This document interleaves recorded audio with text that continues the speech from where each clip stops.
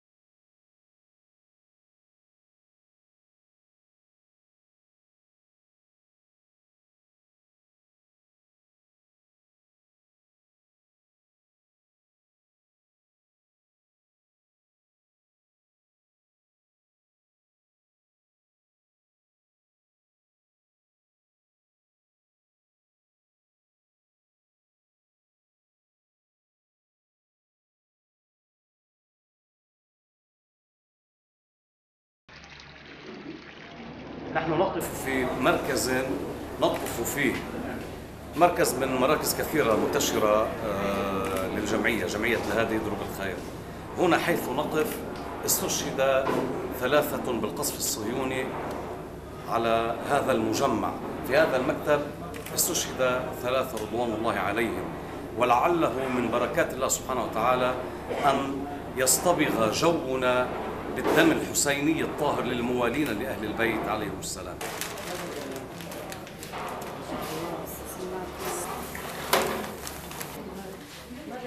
هيدي مائدة أهل البيت متعارف فيها نحن كل سنة بأول محرم بعاشوراء.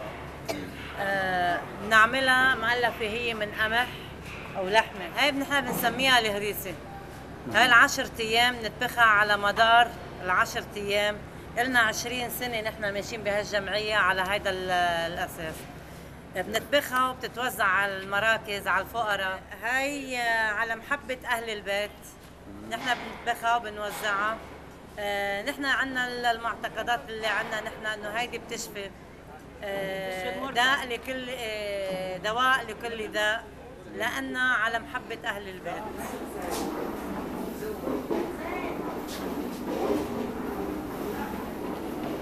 أمرنا رسول الله صلى الله عليه وآله وأهل البيت بالعمل الصالح وبنشر ثقافة أهل البيت. ومن ضمن هذه الثقافة ثقافة الإطعام التي تنم عن الكرم الإسلامي. ومن أكرم من رسول الله ومن أهل البيت روحي لهم الفداء أجمعين. نعمل على إلى جوانب يعني عديدة ممن يعمل في المجال الثقافي والفكري والعسكري مع المقاوم والميداني والإعلامي إلى آخره. نعمد إلى إفشاء هذه الثقافة إطعام عن روح أهل البيت. هلا حتى أنا الواقع ليس معلوما من الناحية التاريخية آه، متى بدأت آه، هذه العادات آه، المتعلقة بالإطعام عن روح الحسين عليه السلام. إلا أنه من المنطقي أن نقول أن الشيعة حيثما حلوا وسكنوا أخذوا العادات الإسلامية معهم وخاصة المتعلقة والواردة عن أهل البيت. عملنا في جمعية الهادي إلى مأسسة هذا العمل على قاعدة أنه كانت الناس عادة تعمل على الإطعام بشكل عشوائي أو بشكل غير منظم. عملنا مع بعض الجهات الإسلامية يعني في لبنان على مأسسة هذا العمل بحيث أنه يقدم الطبق بشكل حضاري ورائق ورائق ومرتب ومنظم. بهذه الشاكلة. آه، فعمدنا إلى تنظيم هذا العمل. بدل أن يكون عشوائيا كما ذكرت قبل قليل أسسنا مؤسسة للإطعام الحسيني على مدى أيام عاشوراء وهي تهتم بجوانب عديدة ومنها وأشهرها بالطبع الهريسي ويأتي من ثم أنواع من الحلويات اللبنانية كالمفتقة رز بحليب الكستا نعمل الزردة الإيرانية العراقية المشهورة نعمل تمة نقيمة نعمل فسنجون نعمل أنواع كثير من الإطعام على مستوى لبنان. يعني ليس فقط في الضاحية الجنوبية حيث تنتشر مراكز الجمعية في بيروت في الضاحية في الجنوب في بعلبك وفي الشام في دمشق في حضرة السيدة زينب. نقيم عددا آه، من الولائم على مدى ثلاثة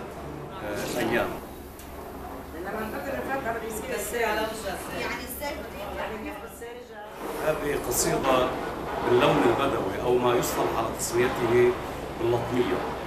أنا زينب عذبح حسين عزوني. يا أخوي حسين تراك الوين راح ترحل بنات الوحي عن المذبوح عم تسأل يا خويا بعدك الأطفال بالمقتل على فراقك يا أبو الأحزان. بكوني. شو صابك؟ قول يا ابن أمي وخبرني. ودمعي عليك على مصابك مصبرني تراك تحن بنظرة اليوم على أحبابك. أنا للطم على المذبوح خلوني.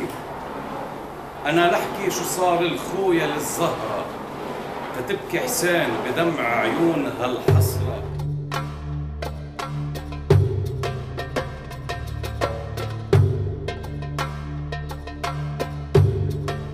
فرهنگ مقاومت کاملا متأثر از فرهنگ عاشورا و ظلم ستیزی حضرت ابا عبدالله الحسین در این کشور هست. و نکته جالب توجه این است که موضوع فرهنگ مقاومت که متأثر از فرهنگ عاشورا هست محدود به شیعیان نیست.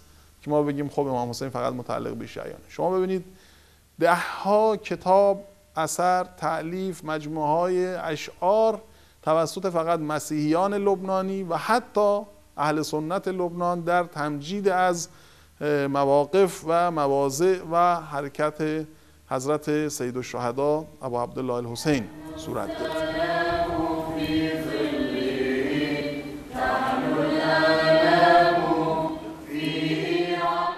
وبين المسيحيه والاسلام في لبنان وشجه لا تنقطع. وصلة لا تني تفعل في النفوس وفي الممارسات وفي السياسات.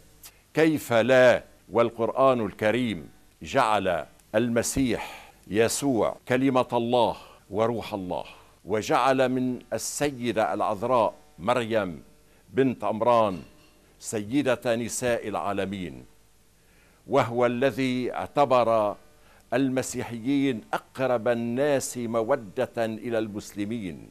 كيف لنا ألا تهزنا ذكرى الحسين وعبرة الحسين ونحن نعيش حياة واحدة بتقاليدنا بعاداتنا وبكل ما يمكن أن يوحي للإنسان كبرا وانفه واباءه وبالفعل يكفي أن يكون السلام الذي يلقى على الحسين يقول سلام عليك أيها الحسين يا وارث المسيح يا وارث عيسى ابن مريم.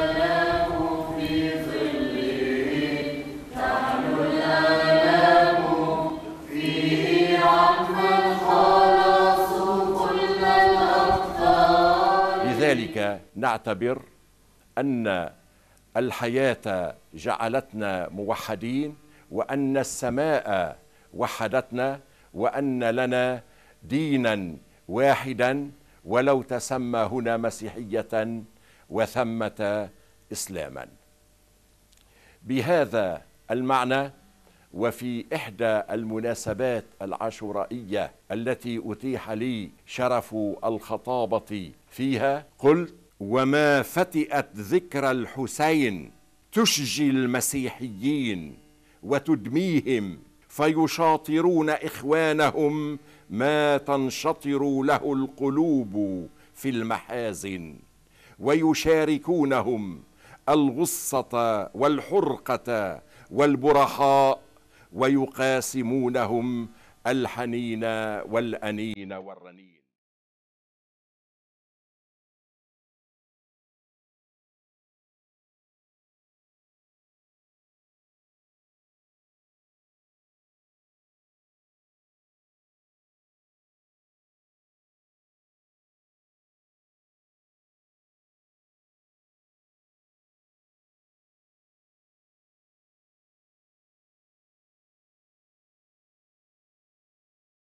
این کودکان و نوجوانان آینده سازان لبنان هستند که خود را برای مراسم آشورا آماده می کنند.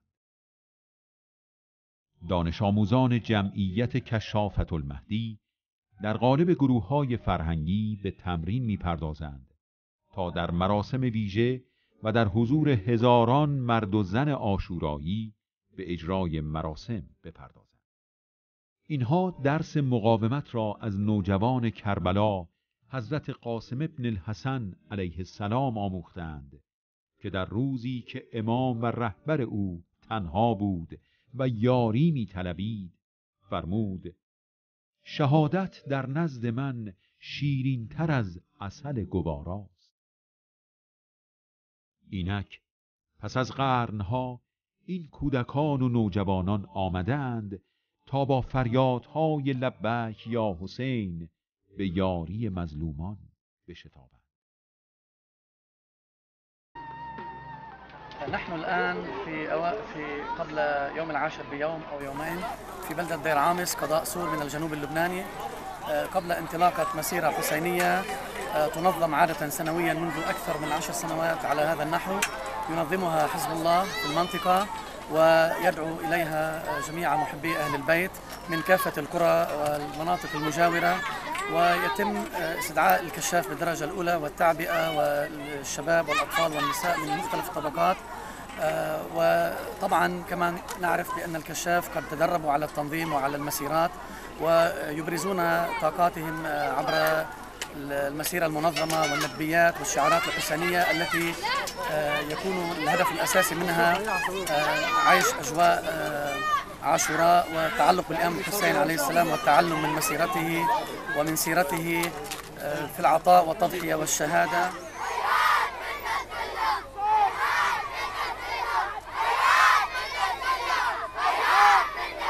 اسمك علي الرضا إبراهيم بدوي. هي ليش تشارك بالمسيرة؟ عشان الإمام الحسين.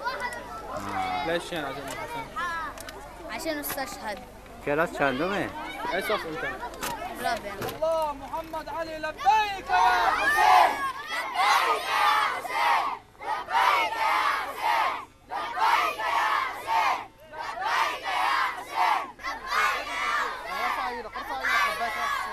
أنا اسمي زكريا محمد مالك عبد الله أتشرف بأني في كشاف الإمام المهدي الفوج أمير المؤمنين ونقول لبيك يا حسين هيهات. من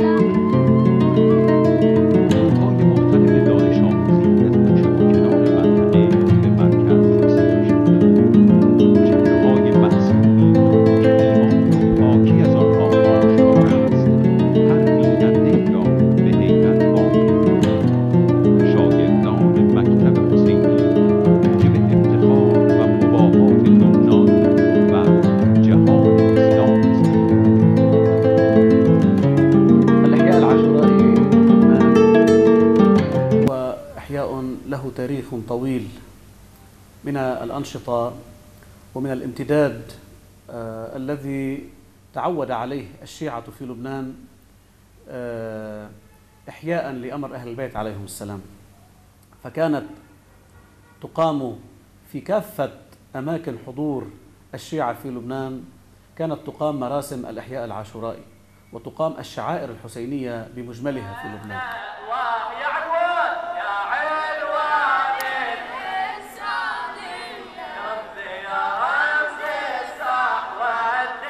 جمعية كشافة الإمام المهدي عليه السلام التي تعنى بتربية الناشئة والتي تعنى بتثقيفهم وتعريفهم على دينهم وعلى أهل البيت عليهم السلام وجدت في الموسم العاشورائي آه، وجدت فيه آه، موسما هاما وكبيرا للتبليغ وللنشاطات.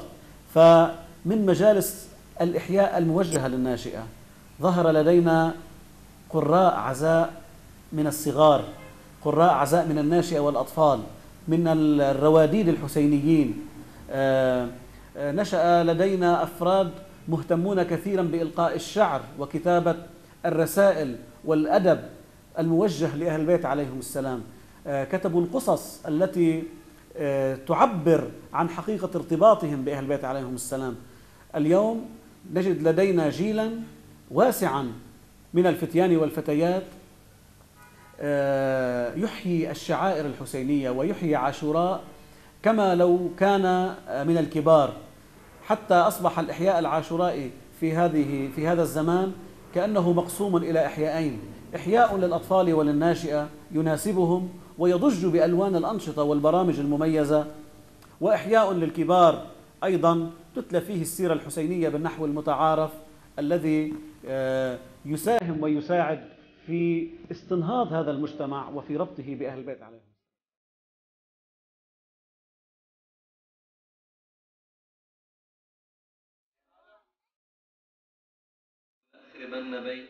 مادران در مجلس روزه نشستند و از کربلا و قیام ابا عبدالله الحسین علیه السلام میشنوند و در سالن دیگری فرزندانشان تحت تعلیم معلمان و مربیان پرورشی.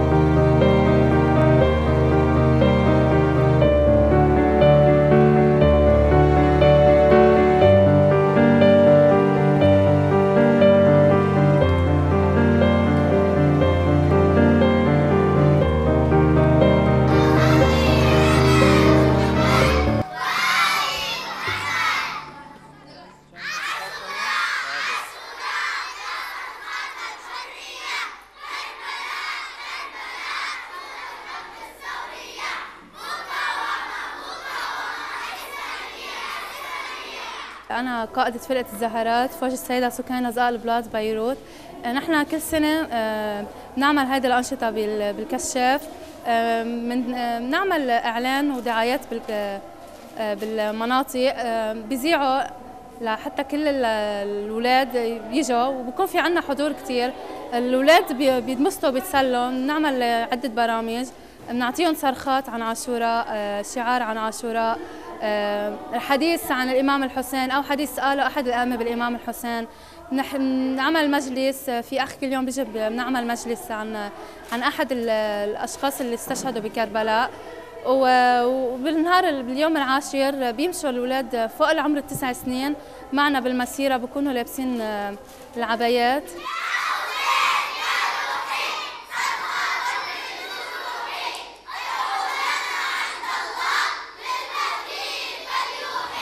هلا هن الأولاد آه، بيتفاعلوا كثير وخاصة لما يكون في عنا شيء عمل فني مثلا مثل آه، عملنا راية الإمام الحسين مثل الراية اللي كانت بكربلاء مكتوب عليها يا حسين وامبارح عملنا بصمة المبايعة بدنا نبعثها إن شاء الله على مقام الإمام الحسين بالعراق. وخلينا كل الاولاد يبصموا ويحطوا إيديهم على هيدي الراية. وعنا هون بالكشاف. آه، نحن بنرفع كل سنة شعار مع شوراء مدرسة الاجيال آه، يعني نحن عنا الأطفال من هن وصغار بنبلش نعلمهم على تعاليم الإمام الحسين تعاليم الدين الإسلامي وكيف الإمام الحسين ضحى بعائلته وباولاده وبكل ما بيملك بس كرمال يرفع الاسم اسم الإسلام عاليا حتى لحتى يضل مستمر لأيامنا هيدا. العطش ألعطش أريد قطرة ماء فقط قطرة ماء واحدة آه إنه الصوت مجددا أين أنا؟ كيف وصلت إلى هنا؟ أهو حلم أم حقيقة؟ أرجوكم أخبروني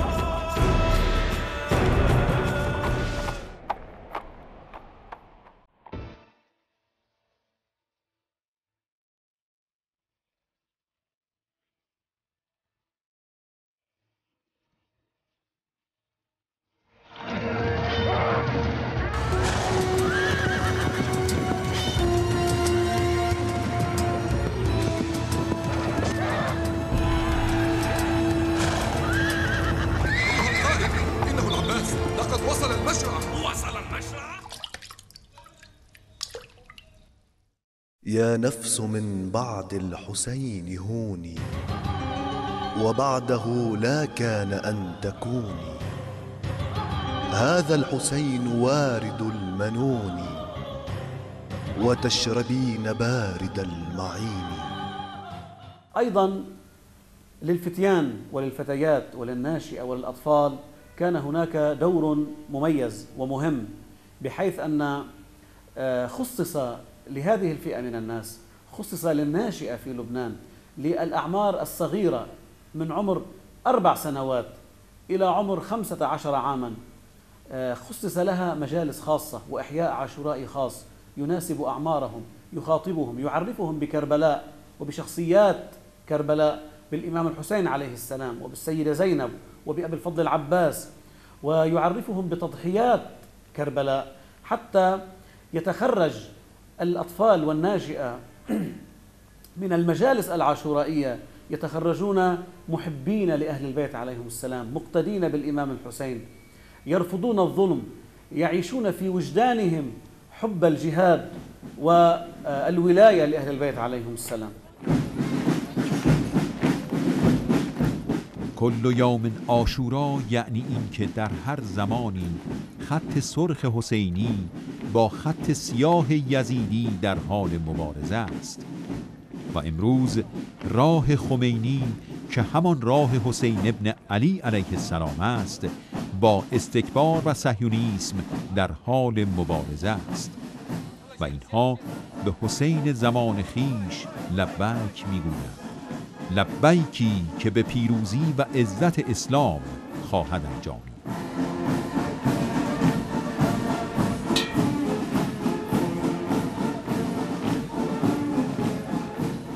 وجمعية كشافة الإمام المهدي عليه السلام على مدى أكثر من عشر سنوات من الإحياء ووضع البرامج وتقييمها وتطويرها استطاعت أن آه، تصنع آه، تراثا واسعا وتجربة غنية في الحقيقة يمكن اعتمادها ونقلها إلى بقية المجتمعات الشيعية.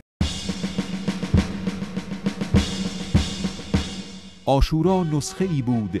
که در خود جهاد و شهادت، پایداری و استقامت و ایمان و مبارزه داشت.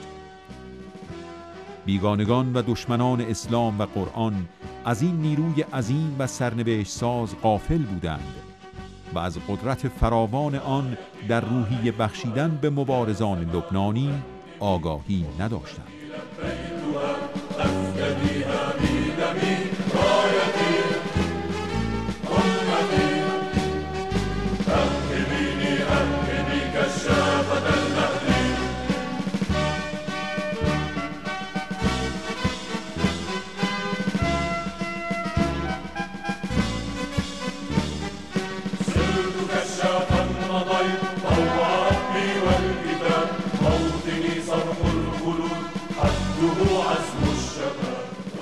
ای حسین ای افتخار جوانان اهل بهشت چه خوش است از تو گفتن و شنیدن.